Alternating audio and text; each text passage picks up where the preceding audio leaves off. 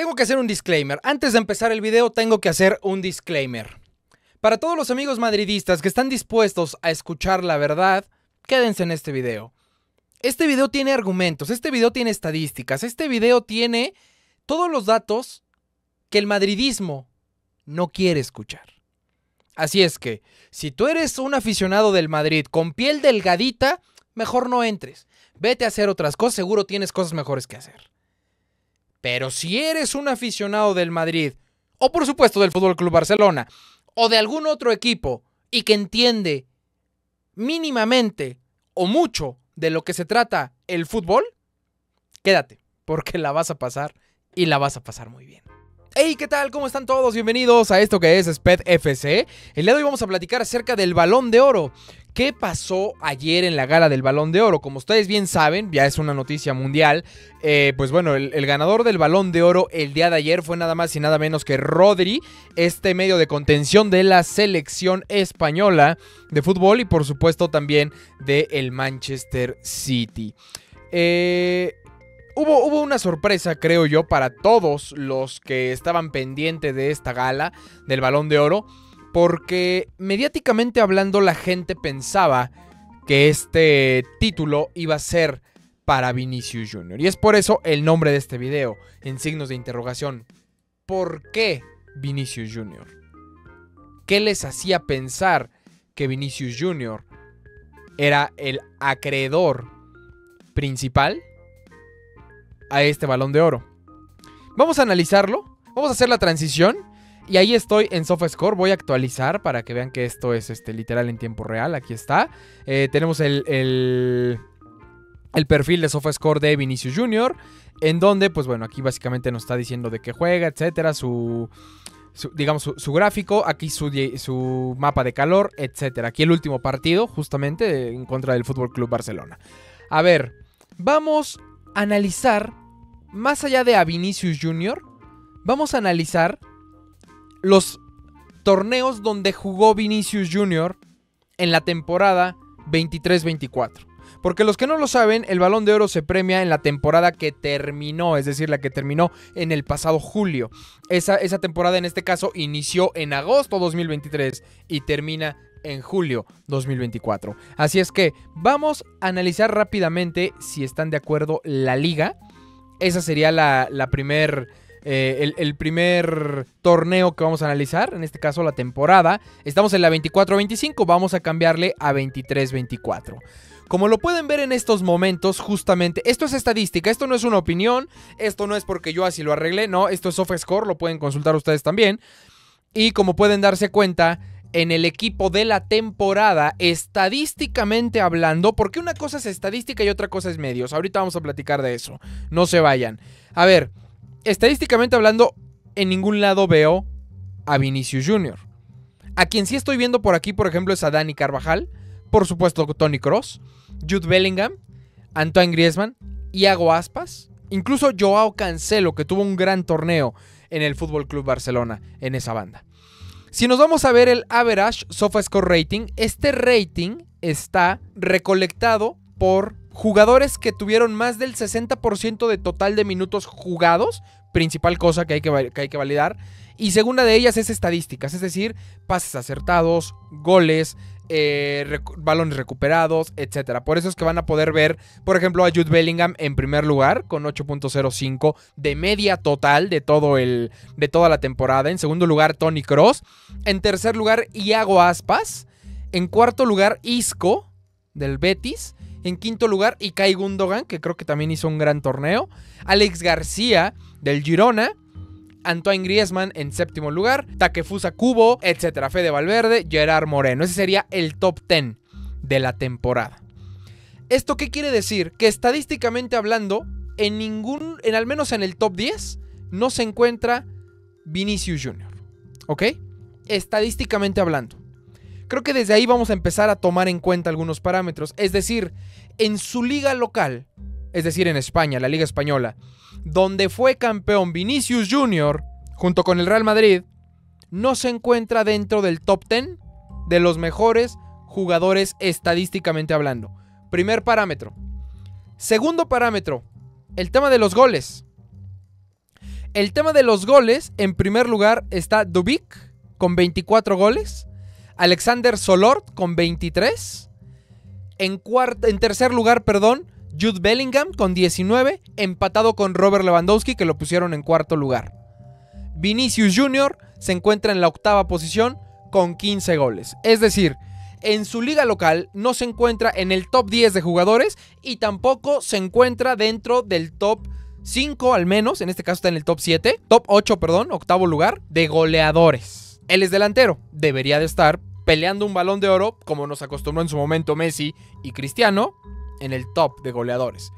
Hasta aquí, quien a mi modo de ver se lo merecía más de ese equipo es Jude Bellingham. Al menos está en dos de las, de las ternas que vamos a analizar ahorita. Si nos vamos, por ejemplo, a goles esperados, quien tiene 24 goles es Artem Dubik, que justamente quedó como primer lugar en goleo. En segundo lugar, Robert Lewandowski. Vinicius Jr. lo encontramos con 15 esperados hasta la sexta posición. Y estos son goles que sí fueron marcados, es decir, esperados y que sí se marcaron. El tema de asistencias, Alejandro Baena, 14 asistencias, Nico Williams, 11 asistencias, Iago Aspas, Sabiño, y Gundogan, Rafinha, Tony Cross, Lewandowski, Dubik y Jan Cotto. Es decir, no se encuentra dentro del top 10 de asistencias. Pero, o, por ejemplo, total de tiros, aquí sí, se encuentra en el top 2. Y pues bueno, tiros a puerta, aquí está, ahora sí, tiros a puerta, el, expectativo, en este caso el average, el promedio, es 1.5 tiros a puerta por partido por parte de Vinicius Jr., 1.3 por parte de Jude Bellingham. Si a mí me lo preguntan, de acuerdo a lo que estamos viendo en, estos, en, esta, en estas estadísticas, que ahorita vamos a, a platicar por supuesto de las otras competencias, específicamente hablando de la liga, el mejor jugador del Real Madrid, lo están viendo ustedes, es Jude Bellingham. Por eso se encuentra en el 11 ideal de la liga, como lo están viendo ahorita, y por eso Jude Bellingham incluso se encuentra por encima del resto del 11 ideal de la liga. Ahí lo están viendo ustedes, con una calificación de 8.05. ¿Qué les parece si ahora cambiamos de competencia? Ahora, ¿qué les parece si nos vamos a la Champions League? Vamos a buscar la Champions. No, vamos a buscar la Copa del Rey, porque son los torneos donde, donde participó el gran Vinicius Jr. Vamos a la Copa del Rey. Aquí en la Copa del Rey, evidentemente digo, estamos en la 24-25, cambiamos a la 23-24, donde fue campeón el Athletic Club de Bilbao. El Madrid, recordemos que la verdad es que quedó eh, fuera de esta competencia relativamente rápido. Aquí nada más tenemos el equipo de la temporada, no hay tanta, tanto, tanto seguimiento. Y pues como pueden darse cuenta, no se encuentra Vinicius Jr. Lo vamos a dejar ahí. Vámonos también a, ahora sí, a la Champions League, si están de acuerdo. UEFA Champions League, aquí está.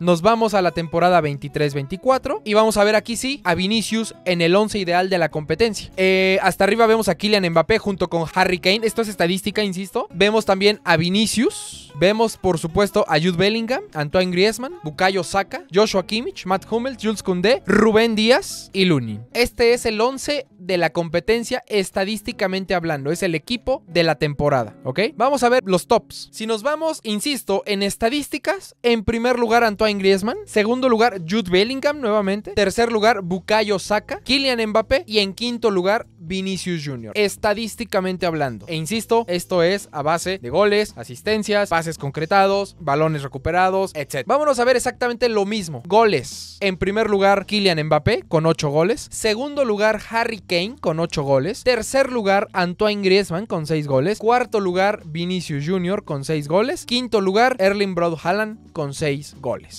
¿Ok? Creo que hasta aquí no hay tanto que, pensar. Si nos vamos a goles esperados que fueron anotados, Kylian Mbappé en primer lugar, segundo Erling Haaland, tercero Harry Kane, Rodrigo Joselu y pues no se encuentra Vinicius hasta la novena posición. Asistencias. En primer lugar, Jude Bellingham otra vez. Marcel Savitzer, Bukayo Saka. Cuarto lugar, Vinicius Jr. con cuatro asistencias. Eh, goles más asistencias, pues bueno, evidentemente no, no, no va a estar este, en primer lugar. Pero se encuentra en la segunda posición con 10 goles. Es decir, eh, Vinicius Jr. participó en 10 goles de todos los que anotó el Real Madrid durante todo el torneo donde terminaron siendo campeones. Y pues, pues básicamente esas serían las, las ternas, ¿no? A validar en este caso. Específicamente hablando de la UEFA Champions League. Creo que por ahí hay otra que se me está yendo, pero bueno, aquí ahí solamente son dos partidos, que en este caso es la Supercopa de, eh, de, Europa, si no estoy mal, fue la que ganaron. La Supercopa, aquí está, en este caso fue la 2024, y, como, y esta es de la UEFA, ¿eh? Como pueden ver, campeón el Real Madrid contra el Atalanta. Si nos vamos al average SofaScore rating específicamente de este, de este encuentro, en primer lugar Jude Bellingham, segundo lugar Federico Valverde, tercer lugar Militao, cuarto lugar Kylian Mbappé,